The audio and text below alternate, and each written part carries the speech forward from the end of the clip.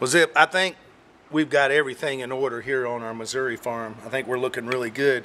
But, you know, the one thing that a lot of people don't realize is is being able to cheat the deer's nose. And sometimes it's as simple as watching the weather. Well, the wind, right? That's, that's A number one. one, right? Yep, And A number one. Use the wind. And and most people will use the wind just on their stand site. But truth of the matter is you end up ruining your hunt before you ever get to your stand if you don't pay attention to the wind and where it's blowing as you approach the stand.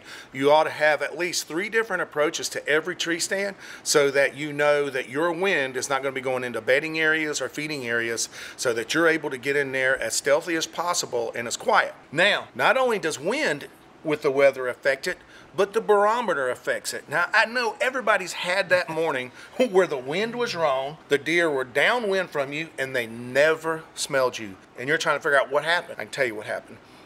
The barometric pressure in how thick or heavy the air is to how thin it is.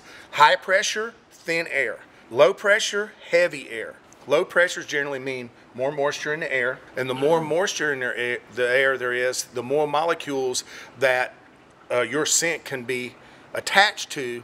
So they're getting a greater concentration of molecules as they breathe in. So low pressure days, rainy days, stuff like this, that is when you're at your worst and biggest disadvantage to a whitetail's nose. But on the other side, when you have a high pressure in, cool weather, the barometer's on the rise, you get to cheat the deer's nose. You can be at a stand as that air rises, it takes your scent up with it. Instead of spreading it down all around with a low pressure, it takes it up and moves it a long way from the stand.